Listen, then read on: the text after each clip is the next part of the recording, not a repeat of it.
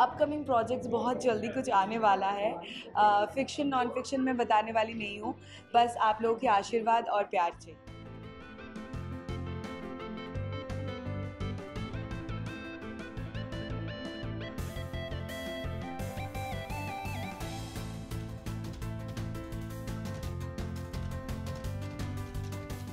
बढ़िया अवार्ड है क्योंकि यहाँ पे विमेन पावर को एम्पावर किया जाता है।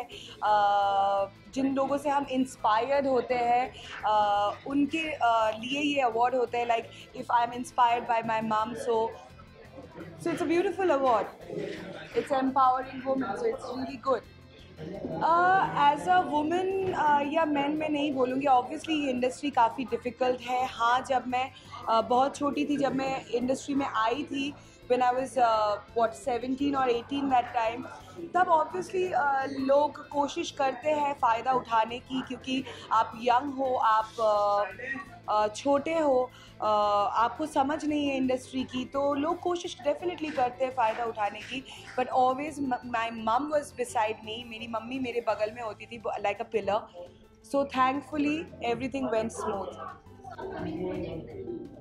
upcoming projects बहुत जल्दी कुछ आने वाला है। फिक्शन नॉन फिक्शन में बताने वाली नहीं हूँ। बस आप लोगों के आशीर्वाद और प्यार चाहिए।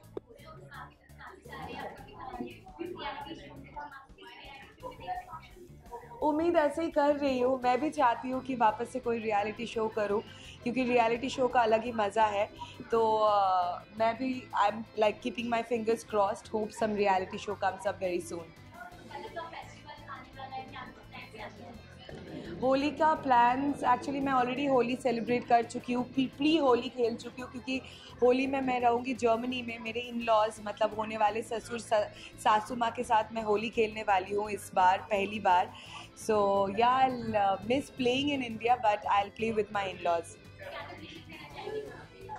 Holi के लिए मैं सबको कहना चाहती हूँ happy Holi everyone play safe please eco friendly colours use करना आँखों के अंदर कलर्स मत डाल देना and play safe have a beautiful colourful Holi happy Holi For top serials on sets to personal interviews and fun segments with actors, subscribe to Telebytes right away.